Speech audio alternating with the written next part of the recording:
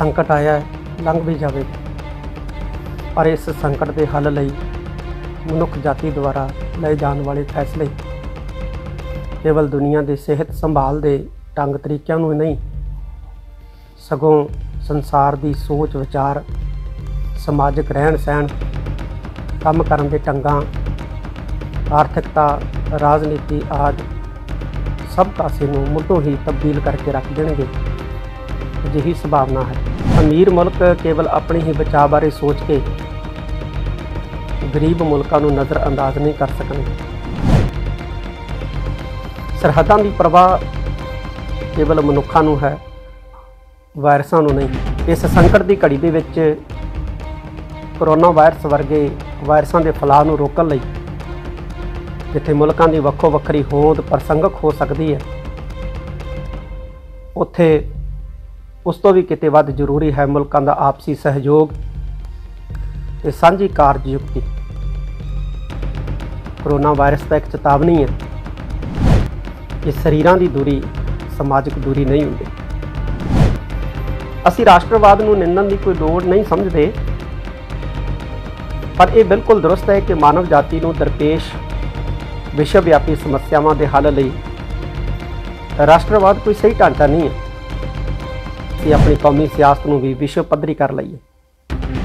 ਵਿਸ਼ਵੀਕਰਨ ਭਾਵ ਵਿਸ਼ਵ ਸੱਤਾ ਤੇ ਕੌਮੀ ਰਾਜਾਂ ਨੂੰ ਇੱਕ ਦੂਸਰੇ ਦੇ ਵਿਰੋਧ ਵਿੱਚ ਖੜੇ ਕਰਕੇ ਵੇਖਣਾ ਹੀ ਗਲਤ ਵਿਸ਼ਵ ਪੱਧਰੀ ਵਪਾਰਕ ਕਾਰਪੋਰੇਸ਼ਨਾਂ ਤੋਂ ਬਾਅਦ ਵਿਸ਼ਵ ਵਿਆਪੀ ਭਾਈਚਾਰਿਆਂ ਦੀ ਸਰਬ ਸਾਂਝੀ ਖੁੱਲ੍ਹਤਾ ਵਾਲੀ ਗਤੀਸ਼ੀਲ ਅਤੇ ਵਿਕਾਸਮਈ ਨੈਟਵਰਕਿੰਗ ਨੂੰ ਵਿਸ਼ਵੀਕਰਨ ਦੇ ਅਗਲੇ ਪੜਾਅ ਦੇ ਰੂਪ ਵਿੱਚ ਦੇਖਣ ਦੀ ਲੋੜ ਹੈ।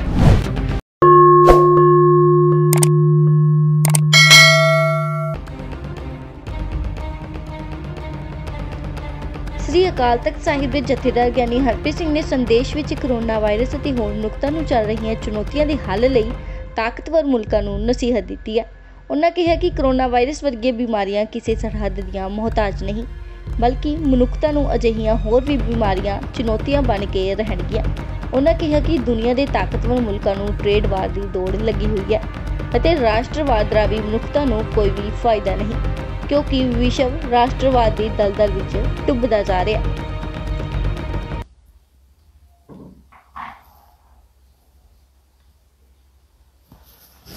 ਹੈ ਵਾਹਿਗੁਰੂ ਜੀ ਕਾ ਖਾਲਸਾ, ਵਾਹਿਗੁਰੂ ਜੀ ਕੀ ਫਤਿਹ।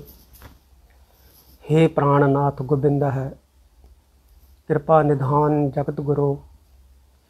हे ਸੰਸਾਰ ਤਾਪ ਹਰਣਾ ਹੈ ਕਰੁਣਾ ਮੈਂ ਸਭ ਦੁੱਖ ਹਰੋ।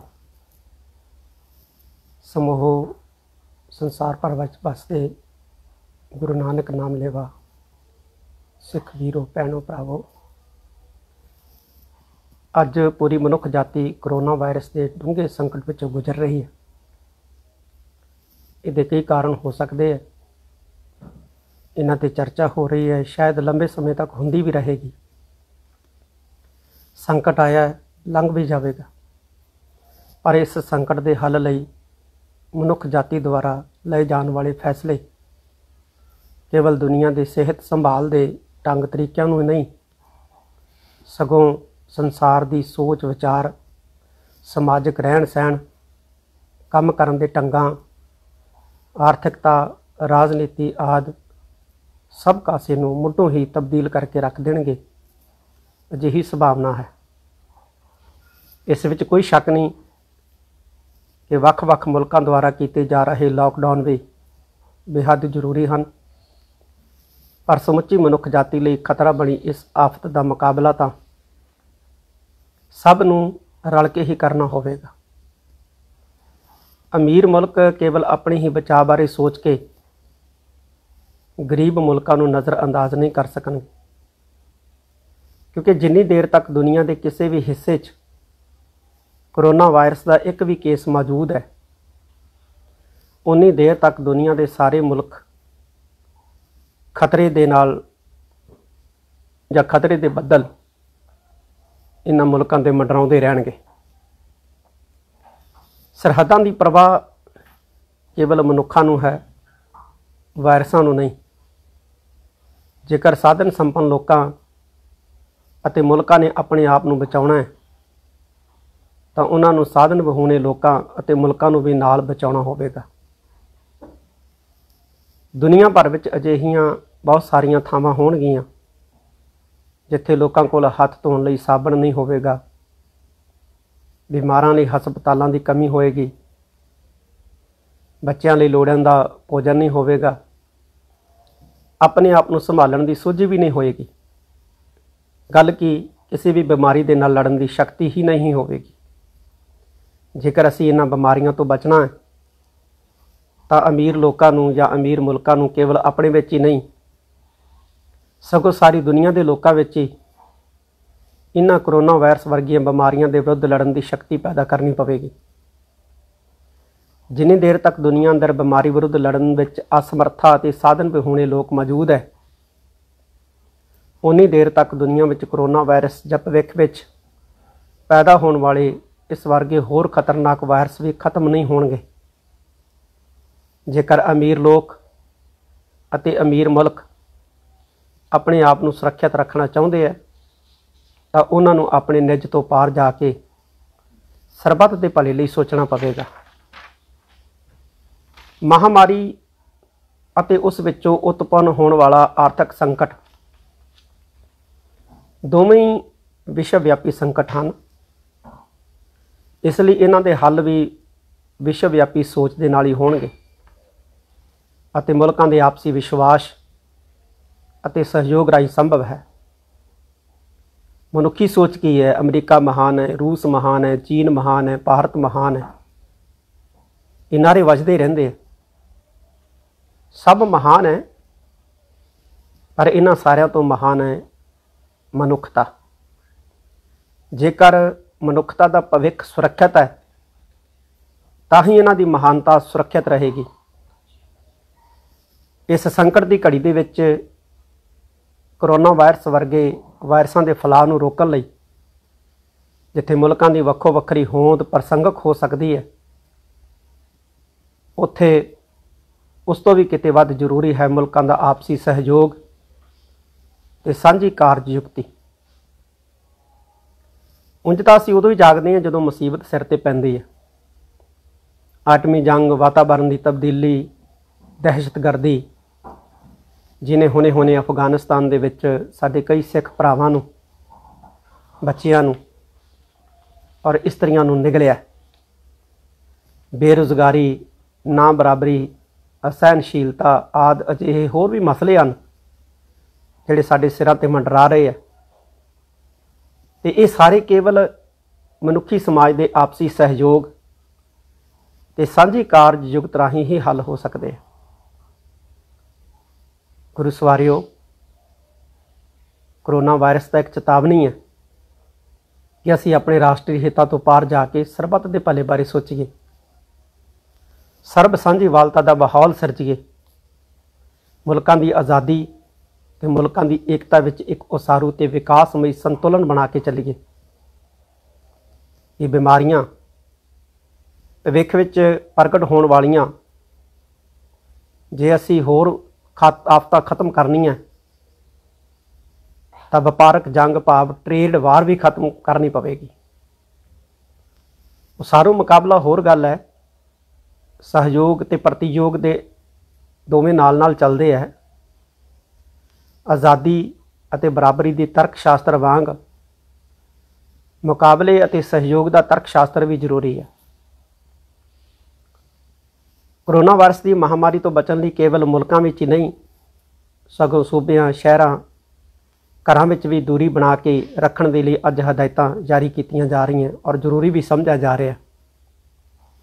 ਫਿਰ ਦੂਰੀਆਂ ਦੇ ਇਸ ਮਾਹੌਲ ਦੇ ਵਿੱਚ ਸਰਬ ਸਾਂਝੀਵਾਲਤਾ ਅਤੇ ਮਾਨਵੀ ਏਕਤਾ ਦਾ ਮਾਹੌਲ ਕਿਵੇਂ ਸਿਰਜਣਾ ਇਸ ਮਸਲੇ ਨੂੰ ਸਮਝਣ ਲਈ ਕੇਵਲ ਇੰਨਾ ਜਾਣ ਲੈਣਾ ਹੀ ਬਹੁਤ ਜ਼ਰੂਰੀ ਹੈ ਕਿ ਸਰੀਰਾਂ ਦੀ ਦੂਰੀ ਸਮਾਜਿਕ ਦੂਰੀ ਨਹੀਂ ਹੁੰਦੀ। ਵਰਤਮਾਨ ਸਮੇਂ ਵਿੱਚ ਆਨਲਾਈਨ ਡਿਜੀਟਲ ਨੈਟਵਰਕਿੰਗ ਨੇ ਤਾਂ ਸਰੀਰਾਂ, ਘਰਾਂ ਤੇ ਮੁਲਕਾਂ ਦੀ ਇਸ ਦੂਰੀ ਨੂੰ ਸਮਾਜਿਕ ਮਿਲਵਰਤਨ, ਆਪਸੀ ਸਹਿਯੋਗ ਤੇ ਸਰਬ ਸਾਂਝੀਵਾਲਤਾ ਵਿੱਚ ਰੂਪਮਾਨ ਕਰਨ ਲਈ ਬਹੁਤ ਸੌਖਿਆਂ ਕਰ ਦਿੱਤਾ ਹੈ। ਇਸ ਟੈਕਨੋਲੋਜੀ ਨੇ ਕੇਵਲ ਨਵ ਉਦਾਰਵਾਦੀ ਭਾਵ ਨਵੀਂ ਖੁੱਲੀ ਸੋਚ ਨੇ। ਵਿਸ਼ਵ ਸਰਮਾਈ ਨੂੰ ਹੀ ਪੈਦਾ ਨਹੀਂ ਕੀਤਾ। ਸਗੋਂ ਵਿਸ਼ਵ ਭਾਈਚਾਰਾ ਵੀ ਇਸ ਟੈਕਨੋਲੋਜੀ ਟੈਕਨੋਲੋਜੀ ਰਾਹੀਂ ਹੋਸ਼ ਸੰਭਾਲ ਰਿਹਾ ਵਰਤਮਾਨ ਸਮਿਆਂ ਵਿੱਚ ਆਨਲਾਈਨ ਡਿਜੀਟਲ ਨੈਟਵਰਕਿੰਗ ਨੇ ਤਾਂ ਸਰੀਰਾਂ, ਘਰਾਂ ਅਤੇ ਮੁਲਕਾਂ ਦੀ ਇਸ ਦੂਰੀ ਨੂੰ ਸਮਾਜਿਕ ਮਿਲਵਰਤਨ, ਆਪਸੀ ਸਹਿਯੋਗ ਤੇ ਸਰਬ ਸਾਂਝੀ ਵਾਲਤਾ ਵਿੱਚ ਰੂਪਮਾਨ ਕਰਨ ਲਈ ਬਹੁਤ ਸੌਖਿਆ ਕਰ ਦਿੱਤਾ ਹੈ। ਦੁਨੀਆ ਦੇ ਵੱਖ-ਵੱਖ ਮੁਲਕਾਂ ਵਿੱਚ ਖਿੰਡੇ ਹੋਏ ਸਿੱਖਾਂ ਨੂੰ ਵਿਸ਼ਵ ਵਿਆਪੀ ਕੌਮ ਵਿੱਚ ਸੰਗਠਿਤ ਕਰਨ ਦਾ ਸਿਹਰਾ ਵੀ ਇਸ ਆਨਲਾਈਨ ਡਿਜੀਟਲ ਨੈਟਵਰਕਿੰਗ ਦੀਆਂ ਵਿਸ਼ਵ ਵਿਆਪੀ ਸਹੂਲਤਾਂ ਨੂੰ ਜਾਂਦਾ ਹੈ। ਇਸ ਸਾਧਨ ਰਾਹੀਂ ਅਸੀਂ ਵੱਖ-ਵੱਖ ਮੁਲਕਾਂ ਅਤੇ ਸੂਬਿਆਂ ਵਿੱਚ ਬੈਠੇ ਸਿੱਖ ਆਪਣੇ ਆਪ ਨੂੰ ਇੱਕ ਵਿਸ਼ਵ ਵਿਆਪੀ ਕੌਮ ਦੇ ਰੂਪ ਵਿੱਚ ਅਨੁਭਵ ਕਰ ਰਹੇ ਜਿਵੇਂ ਰੇਲ ਗੱਡੀ, ਡਾਕਖਾਨਾ, ਪ੍ਰਿੰਟ ਮੀਡੀਆ ਨੇ ਕਿਸੇ ਸਮੇਂ ਆਧੁਨਿਕ ਭਾਰਤੀ ਕੌਮ ਦਾ ਨਿਰਮਾਣ ਕੀਤਾ ਸੀ। ਇਸੇ ਤਰ੍ਹਾਂ ਅੱਜ ਵੀ ਹਵਾਈ ਯਾਤਰਾ, ਗਲੋਬਲ ਬੈਂਕਿੰਗ ਅਤੇ ਡਿਜੀਟਲ ਮੀਡੀਆ ਨੈਟਵਰਕਿੰਗ ਵਿਸ਼ਵ ਵਿਆਪੀ ਸਿੱਖ ਕੌਮ ਦਾ ਵਿਕਾਸ ਕਰ ਰਹੇ ਹਨ। ਵਿਸ਼ਵ ਸਰਮਾਈ ਦੀ ਪ੍ਰਫੁੱਲਤਾ ਲਈ ਜੋ ਮਲਟੀਨੈਸ਼ਨਲ ਕਾਰਪੋਰੇਸ਼ਨਾਂ ਕੰਮ ਕਰ ਰਹੀਆਂ ਵਿਸ਼ਵ ਭਾਈਚਾਰੇ ਜਾਂ ਮਨੁੱਖਤਾ ਦੇ ਵਿਕਾਸ ਲਈ ਉਹ ਕੰਮ ਹੁਣ ਵਿਸ਼ਵ ਵਿਆਪੀ ਕੌਮਾਂ ਦੇ ਜ਼ਿੰਮੇ ਆ ਚੁੱਕਾ ਹੈ। ਕਿਉਂਕਿ ਵਿਸ਼ਵ ਵਿਆਪੀ ਕੌਮਾਂ ਕਿਸੇ ਇੱਕ ਮੁਲਕ ਵਿੱਚ ਨਹੀਂ, ਸਗੋਂ ਅਨੇਕਾਂ ਮੁਲਕਾਂ ਵਿੱਚ ਸਥਿਤ ਹੁੰਦੀਆਂ ਜਿਵੇਂ ਕਿ ਸਾਡੀ ਸਿੱਖ ਕੌਮ। ਅਸੀਂ ਰਾਸ਼ਟਰਵਾਦ ਨੂੰ ਨਿੰਦਣ ਦੀ ਕੋਈ ਲੋੜ ਨਹੀਂ ਸਮਝਦੇ, ਪਰ ਇਹ ਬਿਲਕੁਲ ਦਰੁਸਤ ਹੈ ਕਿ ਮਾਨਵ ਜਾਤੀ ਨੂੰ ਦਰਪੇਸ਼ ਵਿਸ਼ਵ ਵਿਆਪੀ ਸਮੱਸਿਆਵਾਂ ਦੇ ਹੱਲ ਲਈ ਰਾਸ਼ਟਰਵਾਦ ਕੋਈ ਸਹੀ ਢਾਂਚਾ ਨਹੀਂ ਹੈ। ਅੱਜ ਅਸੀਂ ਸੰਸਾਰ ਪੱਧਰੀ ਵਿਗਿਆਨਕ ਹਾਲਤਾਂ, ਵਿਸ਼ਵ ਆਰਥਿਕਤਾ, ਵਿਸ਼ਵ ਟੈਕਨੋਲੋਜੀ, ਵਿਸ਼ਵ ਮੀਡੀਆ ਅਤੇ ਵਿਸ਼ਵ ਪੱਧਰੀ ਅੰਕੜਿਆਂ ਦੇ ਉਸ ਯੁੱਗ ਵਿੱਚ ਰਹਿ ਰਹੇ ਹਾਂ, ਜਿਹੜਾ ਰਾਸ਼ਟਰਵਾਦ ਦੀ ਦਲਦਲ ਦੇ ਵਿੱਚ ਡੁੱਬਦਾ ਜਾ ਰਿਹਾ। ਹੁਣ ਸਾਡੇ ਸਾਹਮਣੇ ਦੋ ਰਸਤੇ ਹੈ। ਜਾਂ ਤਾਂ ਅਸੀਂ ਆਪਣੀਆਂ ਵਿਗਿਆਨਕ ਪ੍ਰਾਪਤੀਆਂ, ਆਰਥਿਕਤਾ ਤੇ ਸਾਇੰਸ ਟੈਕਨੋਲੋਜੀ ਨੂੰ ਵਿਸ਼ਵ ਪੱਧਰੀ ਸੋਚ ਤੋਂ ਦੂਰ ਕਰ ਲਈਏ। ਤੇ ਜੇਕਰ ਅਜਿਹਾ ਸੰਭਵ ਨਹੀਂ ਹੈ, ਤਾਂ ਕੇਵਲ ਇੱਕ ਹੀ ਰਸਤਾ ਫਿਰ ਬਚ ਜਾਂਦਾ ਹੈ ਕਿ ਅਸੀਂ ਆਪਣੀ ਕੌਮੀ ਸਿਆਸਤ ਨੂੰ ਵੀ ਵਿਸ਼ਵ ਪੱਧਰੀ ਕਰ ਲਈਏ। ਜੇਕਰ ਵਿਸ਼ਵ ਪੱਧਰੀ ਸਿਆਸਤ ਦਾ ਅਰਥ ਵਿਸ਼ਵ ਪੱਧਰੀ ਸਰਕਾਰ ਨਹੀਂ ਹੈ, ਤਾਂ ਫਿਰ ਕੌਮੀ ਸਰਕਾਰਾਂ ਨੂੰ ਬਿਨਾਂ ਕਿਸੇ ਇੱਕ, ਦੋ ਜਾਂ ਤਿੰਨ ਤਰ੍ਹਾਂ ਦੀ ਸਰਦਾਰੀ ਦੇ ਜਾਂ ਚੌਧਰ ਦੇ ਕਿਵੇਂ ਵਿਸ਼ਵ ਵਿਆਪੀ ਕੀਤਾ ਜਾਵੇ? ਇਹ ਸਾਡੇ ਸਮਿਆਂ ਦਾ ਬਹੁਤ ਅਹਿਮ ਤੇ ਵੱਡਾ ਸਵਾਲ ਹੈ। ਖਾਲਸਾ ਜੀ, ਵਿਸ਼ਵ ਸੰਕਟ ਅੱਜ ਉਸੇ ਸੰਕਟ ਵਿੱਚੋਂ ਲੰਘ ਰਿਹਾ ਹੈ ਜਿਸ ਸੰਕਟ ਵਿੱਚ ਸਿੱਖ ਸਮਾਜ ਚਿਰਾਂ ਤੋਂ ਫਸਿਆ ਹੋਇਆ ਹੈ। ਜੇਕਰ ਅਸੀਂ ਸਿੱਖ ਸੰਕਟ ਦਾ ਹੱਲ ਲੱਭੀਏ, ਤਾਂ ਵਿਸ਼ਵ ਸੰਕਟ ਦਾ ਹੱਲ ਵੀ ਮਿਲ ਸਕਦਾ ਹੈ। ਇਉਂ ਸਿੱਖ ਸਮਾਜ ਵਿਸ਼ਵ ਸੰਕਟ ਦੇ ਹੱਲ ਲਈ ਦੀ ਪ੍ਰਯੋਗਸ਼ਾਲਾ ਬਣ ਸਕਦਾ ਹੈ। ਸਿੱਖ ਸਮਾਜ ਨੂੰ ਅਸੀਂ ਗੁਰਦੁਆਰਿਆਂ ਦੀ ਸਰਬ ਸਾਂਝੀ ਖੁੱਲਤਾ ਵਾਲੀ ਗਤੀਸ਼ੀਲ ਅਤੇ ਵਿਕਾਸਮਈ ਨੈਟਵਰਕਿੰਗ ਦੇ ਰੂਪ ਵਿੱਚ ਵੇਖ ਜਾਂ ਚਿਤਵ ਸਕਦੇ ਹਾਂ। ਪਰ ਅਜਿਹਾ ਕਰਨ ਲਈ ਗੁਰਦੁਆਰੇ ਨੂੰ ਕੇਵਲ ਸੰਸਥਾ ਦੇ ਰੂਪ ਦੇ ਵਿੱਚ ਨਹੀਂ, ਸਗੋਂ ਵਾਤਾਵਰਣ ਜਾਂ ਹਾਲਾਤ ਆਧਾਰਿਤ ਪ੍ਰਬੰਧ ਦੇ ਰੂਪ ਦੇ ਵਿੱਚ ਸਮਝਣਾ ਹੋਵੇਗਾ। ਜਿੱਥੇ ਗੁਰਦੁਆਰੇ ਅਤੇ ਉਸ ਨਾਲ ਜੁੜੀ ਸਿੱਖ ਸੰਗਤ ਅਤੇ ਉਸ ਦੀਆਂ ਕਿਰਤ ਕਰਨ, ਨਾਮ ਜਪਣ ਤੇ ਵੰਡ ਛਕਣ ਦੀਆਂ ਪਰੰਪਰਾਵਾਂ ਸਮੇਂ ਅਨੁਸਾਰ ਲੋੜੀਂਦੇ ਪ੍ਰਬੰਧ ਨੂੰ ਸਿਰਜਦੀਆਂ। ਬਹੁਤ ਸੱਭਿਆਚਾਰਕ ਖਿੱਤਿਆਂ, ਪੱਤੀਆਂ, ਮਹੱਲਿਆਂ, ਭਾਈਚਾਰਿਆਂ, ਸੰਪਰਦਾਵਾਂ, ਪਿੰਡਾਂ, ਸਥਾਨਕ ਸਰਕਾਰਾਂ, ਮੂਲ ਸਰੋਤਾਂ, ਕੌਮੀ ਰਾਜਾਂ ਆਦ ਵਿੱਚ ਸੰਗਠਿਤ ਇਹਨਾਂ ਗੁਰਦੁਆਰਿਆਂ ਦੀ ਵਿਸ਼ਵ ਪੱਧਰੀ ਨੈਟਵਰਕਿੰਗ ਹੀ ਸਿੱਖ ਸਮਾਜ ਅਤੇ ਸਿੱਖ ਪੰਥ ਦਾ ਨਿਰਮਾਣ ਕਰਨ ਦੇ ਸਮਰੱਥ ਬਣ ਸਕਦੀ ਹੈ। ਇਸ ਤਰ੍ਹਾਂ ਸਿੱਖ ਸਮਾਜ ਅਤੇ ਸਿੱਖ ਪੰਥ ਦੇ ਨਿਰਮਾਣ ਵਿੱਚ ਕੌਮੀ ਰਾਜ ਅਤੇ ਵਿਸ਼ਵੀਕਰਨ ਮੁਕਾਬਲੇ ਵਾਲੇ ਨਹੀਂ, ਸਗੋਂ ਸਹਿਯੋਗੀ ਰੋਲ ਅਦਾ ਕਰ ਸਕਦੇ ਔਰ ਕਰਦੇ ਆ। ਜਦੋਂ ਇਸ ਗੱਲ ਨੂੰ ਥੋੜਾ ਵਿਸਥਾਰ ਦੇ ਕੇ ਦੇਖਦੇ ਹਾਂ, ਤਾਂ ਸਾਨੂੰ ਸਮਝ ਪੈ ਸਕਦੀ ਹੈ ਕਿ ਵਿਸ਼ਵੀਕਰਨ ਭਾਵ ਵਿਸ਼ਵ ਸੱਤਾ ਤੇ ਕੌਮੀ ਰਾਜਾਂ ਨੂੰ ਇੱਕ ਦੂਸਰੇ ਦੇ ਵਿਰੋਧ ਵਿੱਚ ਖੜੇ ਕਰਕੇ ਵੇਖਣਾ ਹੀ ਗਲਤ ਸੀ। ਵਿਸ਼ਵ ਪੱਧਰੀ ਵਪਾਰਕ ਕਾਰਪੋਰੇਸ਼ਨਾਂ ਤੋਂ ਬਾਅਦ ਵਿਸ਼ਵ ਵਿਆਪੀ ਭਾਈਚਾਰਿਆਂ ਦੀ ਸਰਬ ਸਾਂਝੀ ਖੁੱਲਤਾ ਵਾਲੀ ਗਤੀਸ਼ੀਲ ਅਤੇ ਵਿਕਾਸਮਈ ਨੈਟਵਰਕਿੰਗ ਨੂੰ ਵਿਸ਼ਵੀਕਰਨ ਦੇ ਅਗਲੇ ਪੜਾਅ ਦੇ ਰੂਪ ਵਿੱਚ ਦੇਖਣ ਦੀ ਲੋੜ ਹੈ। ਮੈਨੂੰ ਇਹ ਗੱਲ ਕਹਿਣ ਦੇ ਵਿੱਚ ਮਾਣ ਮਹਿਸੂਸ ਹੁੰਦਾ ਹੈ ਕਿ ਸਿੱਖ ਸਮਾਜ ਜੋ ਪਹਿਲਾਂ ਨਹੀਂ, ਤਾਂ ਸ਼ਾਇਦ ਉਹਨਾਂ ਮੋਢੀ ਭਾਈਚਾਰਿਆਂ ਵਿੱਚੋਂ ਇੱਕ ਜ਼ਰੂਰ ਹੈ, ਜੋ ਵਿਸ਼ਵੀਕਰਨ ਦੇ ਮਾਰਗ ਉੱਪਰ ਤੇਜ਼ੀ ਨਾਲ ਅੱਗੇ ਵਧ ਰਿਹਾ ਹੈ। ਗੁਰਦੁਆਰਾ ਸਾਹਿਬਾਨ ਵਿਸ਼ਵੀਕਰਨ ਦੀ ਮੁੱਢਲੀ ਇਕਾਈ ਹੈ। ਇਨ੍ਹਾਂ ਗੁਰਦੁਆਰਿਆਂ ਦੀ ਇਸੇ ਭਾਵਨਾ ਵਾਲੀ ਵਿਕਾਸਮਈ ਨੈਟਵਰਕਿੰਗ ਹੀ ਸਿੱਖ ਪੰਥ ਦਾ ਭਵਿੱਖਮਈ ਵਿਕਾਸ ਕਰ ਸਕਦੀ ਹੈ। ਜਿਵੇਂ ਅਮਰੀਕਾ ਦੇ ਰਾਸ਼ਟਰਪਤੀ ਨੇ ਵੀ ਕਿਹਾ ਕਿ ਗੁਰਦੁਆਰੇ ਜਿਹੜੇ ਆ, ਉਹ ਹਰ ਮੁਲਕ ਦੇ ਵਿੱਚ ਹੋਣੇ ਬੜੀ ਲਾਜ਼ਮੀ ਹੈ ਗੁਰਸਵਾਰਿਓ ਮੈਂ ਇਹ ਵਿਚਾਰ ਫਿਰ ਦੁਹਰਾ ਦਿਆਂ ਕਿ ਜੇ ਵਿਸ਼ਵ ਪੱਧਰੀ ਸਿਆਸਤ ਦਾ ਅਰਥ ਵਿਸ਼ਵ ਪੱਧਰੀ ਸਰਕਾਰ ਨਹੀਂ, ਤਾਂ ਫਿਰ ਕੌਮੀ ਸਰਕਾਰਾਂ ਨੂੰ ਬਿਨਾਂ ਕੁਝ ਕੁ ਧਿਰਾਂ ਦੀ ਸਰਦਾਰੀ ਜਾਂ ਚੌਧਰ ਦੇ ਕਿਵੇਂ ਵਿਸ਼ਵ ਪੱਧਰੀ ਕੀਤਾ ਜਾ ਸਕਦਾ ਹੈ? ਤਾਂ ਇਸ ਦਾ ਜਵਾਬ ਇਹ ਹੈ ਕਿ ਜਿਵੇਂ ਸਿੱਖ ਸਮਾਜ ਦੇ ਸੰਦਰਭ ਵਿੱਚ ਗੁਰਦੁਆਰੇ ਵਿਸ਼ਵੀਕਰਨ ਦੇ ਅਮਲ ਨੂੰ ਅੱਗੇ ਵਧਾ ਰਹੇ ਆ ਤੇ ਸਿੱਖ ਭਾਈਚਾਰਾ ਇੱਕ ਪਾਸੇ ਤਾਂ ਬਿਨਾਂ ਕਿਸੇ ਸੰਕੋਚ ਤੇ ਆਪਣੀ ਮਾਤ ਭੂਮੀ, ਕਰਮ ਭੂਮੀ ਦੋਨਾਂ ਦੀ ਸਿਆਸਤ ਵਿੱਚ ਇੱਕੋ ਜਿਹਾ ਭਾਈਵਾਲ ਬਣ ਰਿਹਾ ਹੈ।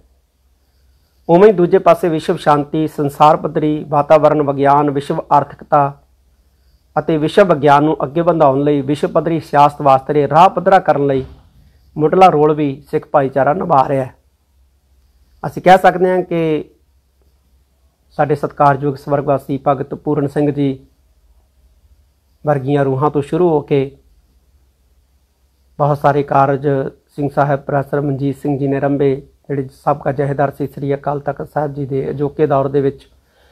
ਬਾਬਾ ਬਲਵੀਰ ਸਿੰਘ ਜੀ ਸੀਚੇਵਾਲ, ਬਾਬਾ ਸੇਵਾ ਸਿੰਘ ਜੀ ਖਰੂਰ ਸਾਹਿਬ ਵਾਲੇ, ਇਕੋ ਸਿੱਖ, ਖਾਲਸਾ ਏਡ, ਹੋਰ ਬਹੁਤ ਸਾਰੀਆਂ ਸਾਡੀਆਂ ਸਿੱਖ ਸੰਸਥਾਵਾਂ ਜਿਹੜੀਆਂ ਨੇ, ਉਹ ਵਾਤਾਵਰਣ ਦੇ ਸੁਧਾਰ ਜਾਂ ਮਨੁੱਖੀ ਭਲਾਈ ਲਈ ਉਪਰਾਲਿਆਂ ਰਾਹੀਂ ਹਾਲੇ ਵੀ ਗੁਰੂ ਪੰਥ ਨੇ ਦੇ ਕਾਰਜ ਕਰ ਰਹੀਆਂ ਨੇ। ਭਾਵੇਂ ਮੁੱਢਲੇ ਕਦਮ ਹੀ ਚੁੱਕੇ ਆ। ਪਰ ਅਸੀਂ ਇਹ ਵੀ ਨਿਰਸੰਕੋਚ ਐਲਾਨ ਕਰ ਸਕਦੇ ਹਾਂ ਕਿ ਗੁਰੂ ਨਾਨਕ ਸਾਹਿਬ ਦੇ ਲੰਗਰ, ਸੇਵਾ, ਸੰਗਤ ਪੰਗਤ, ਵੰਡ ਛਕਣ ਵਾਲੇ ਸਿਧਾਂਤ, ਵਿਸ਼ਵ ਪੱਧਰੀ ਸਿੱਖ ਸਮਾਜ ਨੂੰ ਇਸ ਦਿਸ਼ਾ ਵਿੱਚ ਤੋਰ ਲੈਣਗੇ।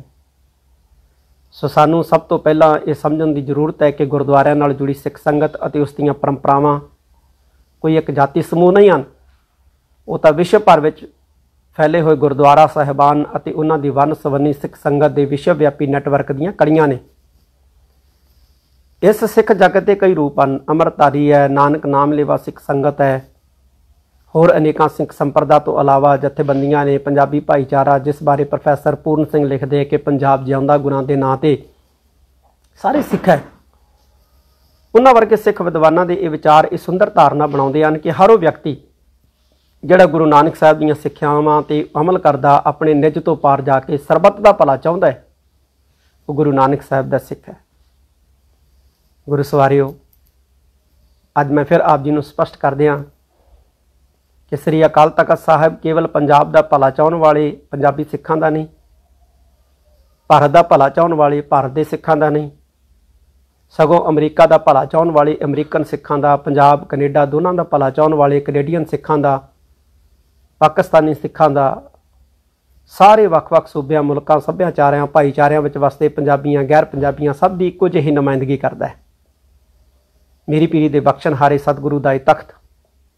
ਦੂਸਰੇ ਧਰਮਾਂ ਦੀ ਗੁਰੂ ਨਾਨਕ ਨਾਮ ਲੈਵਾ ਸਿੱਖ ਸੰਗਤ ਦੇ ਨਾਲ-ਨਾਲ ਸਿੱਖ ਧਰਮ, ਸਿੱਖ ਸੱਭਿਆਚਾਰ, ਸਿੱਖ ਇਤਿਹਾਸ, ਸਿੱਖ ਸਿਆਸਤ ਅਤੇ ਸਿੱਖ ਚਿੰਤਨ ਉੱਪਰ ਕੰਮ ਕਰਨ ਵਾਲੇ ਦੂਜੇ ਧਰਮ ਦੇ ਵਿਦਵਾਨਾਂ, ਸਾਹਿਤਕਾਰਾਂ, ਕਲਾਕਾਰਾਂ ਆਦਿ ਨੂੰ ਵੀ ਆਪਣੇ ਤੋਂ ਦੂਰ ਨਹੀਂ ਦੇਖਦਾ। ਗੱਲ ਕੀ ਸ੍ਰੀ ਅਕਾਲ ਤਖਤ ਸਾਹਿਬ ਦਾ ਆਪਣੇ ਨਿੱਜ ਤੋਂ ਉੱਪਰ ਉੱਠ ਕੇ ਸਰਬੱਤ ਦਾ ਭਲਾ ਚਾਹਣ ਵਾਲੇ ਦੁਨੀਆ ਭਰ ਦੇ ਵਿੱਚ ਫੈਲੇ ਸਮੁੱਚੇ ਨਾਨਕ ਨਾਮ ਲੈਵਾ ਸਿੱਖ ਸੰਗਤ ਦੀ ਗੁਰੂ ਖਾਲਸਾ ਪੰਥ ਦੀ ਤਰਜਮਾਨੀ ਕਰਦਾ ਹੈ। ਸੋ ਇਸੇ ਭਾਵਨਾ ਅਧੀਨ ਸਭ ਤੋਂ ਪਹਿਲਾਂ ਸੰਸਾਰ ਭਰ ਵਿੱਚ ਜੋ ਵੀ ਮਾਈ ਪਾਈ ਨਿੱਜੀ ਜਾਂ ਸੰਸਥਾਤਮਕ ਸੰਸਥਾਤਮਕ ਸੰਸਥਾਤਾ ਦੇ ਰੂਪ ਦੇ ਵਿੱਚ ਜਾਂ ਜੋ ਵੀ ਜਿਵੇਂ ਸੇਵਾ, ਲੰਗਰ, ਇਲਾਜ, ਦਵਾਈਆਂ ਜਾਂ ਮਾਇਕ ਜਾਂ ਤਨ ਮਨ ਦੇ ਨਾਲ ਸੇਵਾ ਨਿਭਾ ਰਿਹਾ ਮੈਂ ਉਸ ਤੇ ਮਾਣ ਕਰਦਾ। ਉਹਨਾਂ ਦਾ ਧੰਨਵਾਦ ਕਰਦਾ। ਇਸ ਸੇਵਾ ਨੂੰ ਹੋਰ ਅੱਗੇ ਤੋਰਨ ਲਈ ਕੋਈ ਸਾਰਥਕ ਸਰਬ ਸਾਂਝੇ ਤੇ ਸਮੁੱਚੀ ਲੋਕਾਈ ਲਈ ਲਾਹੇਵੰਦ ਥੋੜੇ ਸਮੇਂ ਅਤੇ ਲੰਬੇ ਸਮੇਂ ਦੇ ਕਾਰਜਾਂ ਨੂੰ ਸ੍ਰੀ ਗੁਰੂ ਗ੍ਰੰਥ ਸਾਹਿਬ ਜੀ ਦੀ ਗੁਰੂ ਜੁਗਤ ਦੇ ਆਧਾਰਤ ਅਤੇ ਸ੍ਰੀ ਅਕਾਲ ਤਖਤ ਸਾਹਿਬ ਜੀ ਦੀ ਅਗਵਾਈ ਹੇਠ ਆਰੰਭ ਕਰਨ ਦੀ ਇੱਛਾ ਹੈ। ਸੋ ਗੁਰੂ ਪਿਤਾ ਜੀ ਦੀ ਬਖਸ਼ਿਸ਼ ਦੇ ਨਾਲ ਜਲਦੀ ਹੀ ਕੁਝ ਸੰਸਥਾਤਮਕ ਸਰਗਰਮੀਆਂ ਦੀ ਸ਼ੁਰੂਆਤ ਵੀ ਅਸੀਂ ਆਉਣ ਵਾਲੇ ਸਮੇਂ ਦੇ ਵਿੱਚ ਕਰਨ ਜਾ ਰਹੇ ਹਾਂ। ਜਿਸ ਦੀ ਜਾਣਕਾਰੀ ਕੁਝ ਦਿਨਾਂ ਦੇ ਵਿੱਚ ਆਪ ਜੀ ਨਾਲ ਸਾਂਝੀ ਕਰਾਂਗੇ। ਇਸ ਲਈ ਆਪ ਸਭ ਦੇ ਸਹਿਯੋਗ ਤੇ ਇੱਛਾਵਾਂ ਦੀ ਦਾਸ ਨੂੰ ਬਹੁਤ ਜਿਹੜਾ ਹੈ ਬਿਨਾਂ ਦੇਰੀ ਤੋਂ ਲੋੜ ਹੈ। ਗੁਰੂ ਪਿਆਰਿਓ, ਸਮਾਂ ਤਾਂ ਕਿਸੇ ਦੀ ਉਡੀਕ ਨਹੀਂ ਕਰਦਾ। ਸਾਨੂੰ ਹੀ ਖਾਲਸਾ ਜੀ ਕੇ ਬੋਲ ਬਾਲੇ ਅਤੇ ਤੇ ਸਰਬੱਤ ਦੇ ਭਲੇ ਲਈ ਸਿਰ ਜੋੜਨ ਦੀ ਲੋੜ ਹੈ। ਅਸੀਂ ਹੀ ਸਿੱਖਾਂ ਬਾਰੇ ਸੋਚਣਾ ਸਿੱਖ ਮਜ਼ਬੂਤ ਹੋਣਗੇ, ਸਿੱਖ ਭਾਈਚਾਰਾ ਮਜ਼ਬੂਤ ਹੋਊਗਾ, ਸਾਧਨ ਸੰਪਨ ਹੋਏਗਾ, ਫਿਰ ਅਸੀਂ ਸਾਰੀ ਦੁਨੀਆ ਦੇ ਵਿੱਚ ਸਰਬੱਤ ਦੇ ਭਲੇ ਦੀ ਗੱਲ ਜਿਹੜੀ ਹੈ ਉਹ ਕਰ ਸਕਦੇ ਹਾਂ। ਸਾਡਾ ਆਪਣਾ ਘਰ ਮਜ਼ਬੂਤ, ਸਾਡਾ ਆਪਣੀ ਆਰਥਿਕਤਾ ਮਜ਼ਬੂਤ, ਸਮਾ- ਸਾਡਾ ਆਪਣਾ ਸਮਾਜਿਕ ਸਟੇਟਸ ਮਜ਼ਬੂਤ ਤੇ ਫਿਰ ਅਸੀਂ ਉਨੀ ਮਜ਼ਬੂਤੀ ਦੇ ਨਾਲ ਹੀ ਸਰਬੱਤ ਦੇ ਭਲੇ ਦੀ ਗੱਲ ਵੀ ਕਰਾਂਗੇ ਔਰ ਸਰਬੱਤ ਦੇ ਭਲੇ ਦੀ ਕਾਮਨਾ ਵੀ ਕਰਾਂਗੇ। ਸਰਬੱਤ ਦੇ ਭਲੇ ਦੀ ਅਸੀਂ ਯਤਨਸ਼ੀਲ ਵੀ ਹੋਵਾਂਗੇ। ਆਵੋ ਹਮੀਤ ਇਕੱਤਰ ਹੋਏ, ਰਸ ਕਸ ਸਭ ਪੁੰਚਾ ਹੈ ਅੰਮ੍ਰਿਤ ਨਾਮ ਹਰ ਹਰ ਜਪ ਮਿਲ ਪਾਪਾ ਮੁੰਚਾ ਹੈ ਅਤੇ ਜਾਂ ਗੁਰਬਾਣੀ ਦਾ ਫਰਮਾਨ ਹੈ, ਅਗਾਹਾਂ ਕੋ ਤਰਾਂਗ ਪਿੱਛਾ ਫੇਰ ਨਾ ਮੋਹੜੜਾ ਨਾਨਕ ਸਿਜ ਵਿਹਾਵਾਰ ਬਹੁੜ ਨਾ ਹੋਵੀ ਜਨਮੜਾ। ਦੇ ਹੁਕਮਾਂ ਨੂੰ ਧਿਆਨ ਵਿੱਚ ਲਿਆਈਏ। ਗੁਰਸਿੱਖਾਂ ਇੱਕੋ ਪਿਆਰ, ਗੁਰਮਿੱਤਾ ਪੁੱਤਾ ਪਾਈਆਂ ਦੇ ਗੁਰੂ ਭਾਵਨ ਅਧੀਨ ਸਭ ਵਖਰੇਵੇਂ, ਗਿਲੇ ਸ਼ਿਕਵੇ, ਬਹਿਸ ਮਬਾਸੇ ਅਤੇ ਇੱਕ ਦੂਜੇ ਦੀਆਂ ਉਨਤਾਈਆਂ ਭੁੱਲ ਕੇ ਗੁਰੂ ਦਾ ਨਵਾਜਿਆ ਪਰਿਵਾਰ ਬਣ ਜਾਈਏ। ਮੈਂ ਦੂਰ ਨੇੜੇ ਵਾਸਤੇ ਹਰ ਮਾਈ ਭਾਈ ਲਈ ਲੋੜਵੰਦ ਖੁਸ਼ੀਆਂ, ਤੰਦਰੁਸਤੀਆਂ ਤੇ ਗੁਰੂ ਪਿਆਰ ਵਾਲੀ ਜਹਾਂ ਜਹਾਂ ਖਾਲਸਾ ਜੀ ਸਾਹਿਬ ਤਹਾਂ ਤਹਾਂ ਰੱਖਿਆ ਰਿਆਇਤ ਦੀ ਅਰਦਾਸ ਕਰਦਾ ਤਾਂ ਕਿ ਸਰਬੱਤ ਦੇ ਭਲੇ ਦਾ ਗੁਰੂ ਬਖਸ਼ਿਆ ਕਾਰਜ ਨਿਰੰਤਰ ਚੱਲਦਾ ਰਹੇ। ਵਾਹਿਗੁਰੂ ਜੀ ਕਾ ਖਾਲਸਾ, ਵਾਹਿਗੁਰੂ ਜੀ ਕੀ ਫਤਿਹ।